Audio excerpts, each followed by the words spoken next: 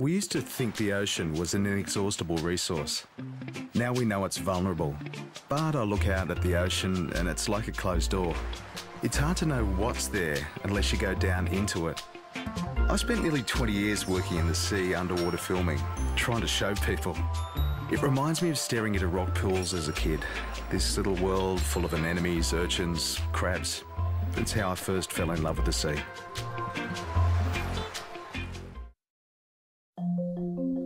I've experienced the excitement of great things, you know, of, of seeing great things done, of seeing great performances of individuals, of seeing great pieces of journalism, inspirational political leadership or inspirational leadership that's not necessarily political. Wonderful changes in science and medicine, and being able to experience life in that kind of breadth just heightens the pathos of seeing people who are never going to have those opportunities for whom an excitement might be something more than rice for their one meal of the day. I can help make a whole city and people can enter it, go wherever they like, meet all these characters, have different things happen to them depending on how they play the game. Because of the way they play, they probably won't ever know all the characters and experiences possible in that city. Sometimes I feel sorry for the characters they don't meet.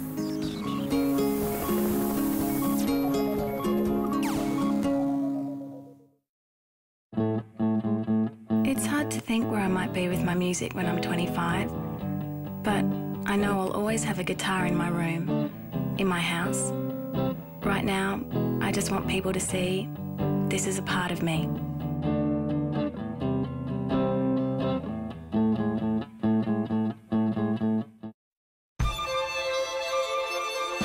You might not want that big Western style front door where you come in off the street, bang, just like that.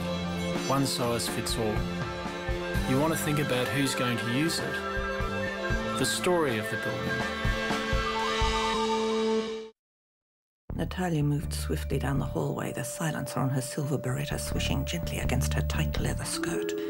Hmm, tight leather skirt, a bit too dominatrix, perhaps?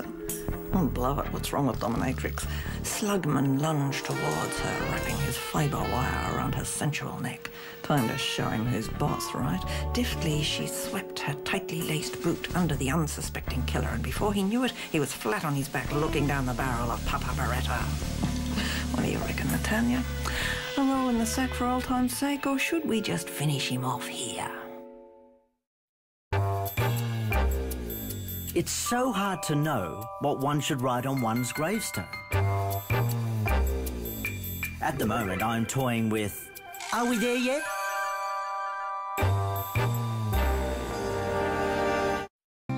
At 65, I'm not as fit as I used to be, but I lost 10 kilos in the first 12 months.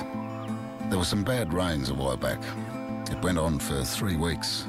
I'm retired, my time's my own, but a lot of volunteers in the SES still have jobs. They took their annual leave. The highlight was evacuating a nursing home on the bend of a river which had broken its banks. There we were, going up the street by these used car lots in our floodboat full of people. And they were mostly dementia patients who had no idea what was going on.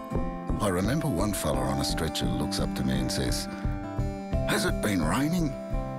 I said, Yeah, mate, just a little.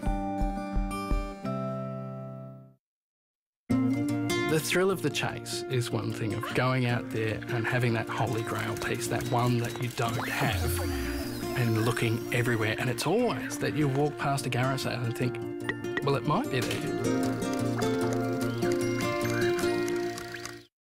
The baby popped out looking just like dad, just like they always do. Mom passed her to him. Skin on skin does amazing things. I've seen it regulate a baby's faltering heartbeat. This time it was his face, the dad's, lit from within. Can we do it again? He said. And you know, he was only half joking. Where do they come from, eh? These strange, slithery things, breaking from where their mothers laid them in the warm, dark sand. What's ahead of them? What trials and dangers? What a remarkable place to be filled with such things. Music is storytelling. It's, it's a story that I'm telling an audience or even one person. You can entertain the audience by taking them on a different journey each time, playing it differently.